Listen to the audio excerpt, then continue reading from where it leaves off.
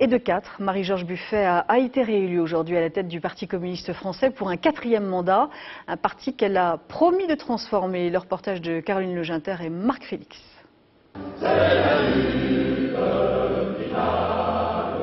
De l'émotion dans le regard, Marie-Georges Buffet vient d'être réélue secrétaire nationale du Parti communiste. Pour ce deuxième mandat, elle compte être secondée par une direction collective.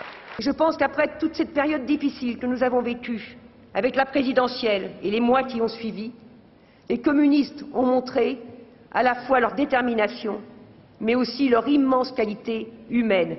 67% des voix pour le camp de Marie-Georges Buffet. On est loin des 91% obtenus lors du précédent congrès il y a trois ans. Tout le week-end, les listes dissidentes se sont multipliées. Les communistes qui prônent une nouvelle force de gauche ont décidé de se faire entendre, comme l'ex-ministre Jean-Claude Guesson. L'heure est grave, je crois, je, le dis comme je le ressens. Euh, euh, j'ai 45 ans euh, d'adhésion au Parti communiste et quand je vois que nous sommes que nous devenons la deuxième, troisième, quatrième force à gauche, alors que j'ai envie de la création d'une force politique nouvelle. Dénonçant ceux qui prédisent l'implosion du PC, les dirigeants du parti ont prouvé que les communistes pouvaient rebondir. Ils ont scellé hier l'alliance avec Jean-Luc Mélenchon et son parti de gauche pour les européennes. Les deux premiers maillons sont le Parti communiste et le Parti de gauche. D'autres peut-être viendront s'y ajouter après, mais déjà euh, à partir de ce soir, il y a une réalité politique.